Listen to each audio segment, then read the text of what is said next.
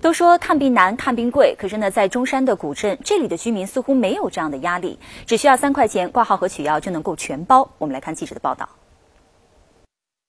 陈博是中山古镇曹埠社区一村的村民，随着年纪渐大，身体不免患上了些慢性病，经常要到卫生院开药。他说，自从有了这个门诊医疗保险，每个月可以省下不少的医药费。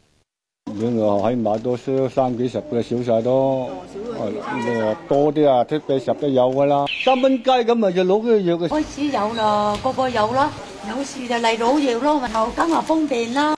据了解，村民每人每月只需缴纳十二元基本门诊医疗保险费，就可以享受三元看病取药。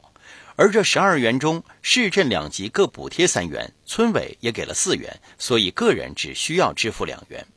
我哋唔行次數，每年都唔行次數，係又又唔封頂特困特困有個證，我哋好多嘢可仲可以減免，甚至連呢三蚊雞都可以減免得。